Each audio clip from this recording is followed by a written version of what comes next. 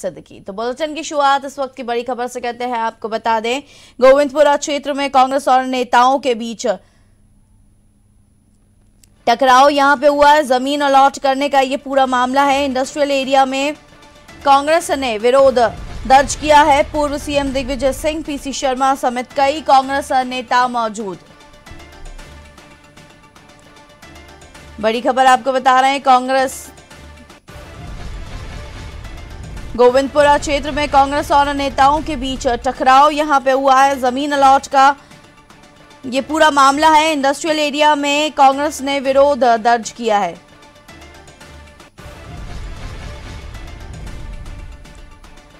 Industrial area में किया कांग्रेस ने विरोध दर्ज, पूर्व सीएम दिग्विजय सिंह, पीसी शर्मा समेत कई कांग्रेस नेता मौजूद।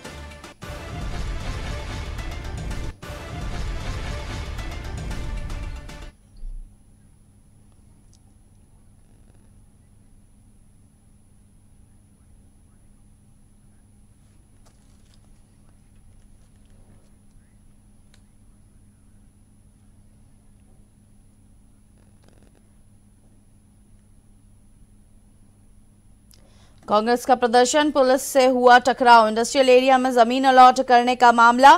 दिग्विजय सिंह, पीसी शर्मा समेत कई कांग्रेस नेता मौजूद।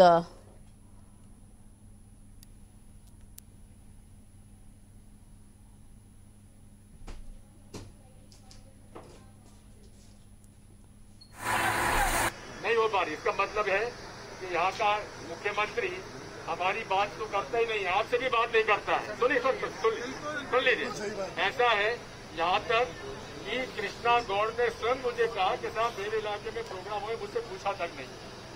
तो बात यह है, यहाँ की स्थानीय विधायक को जानकारी नहीं।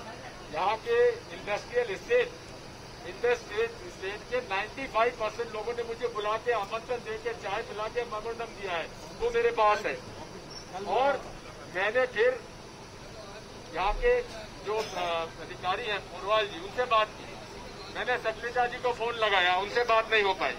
मैंने सीएम साहब को फ़ोन लगाया, उनसे बात नहीं हो पाई। और कल शाम को छह बजे से लेकर आज तक, अभी तक उन्होंने मुख्यमंत्री जी ने मुझसे बात करना भी उचित नहीं समझा। तो उनकी मानसिकता हमको समझने आ गई है।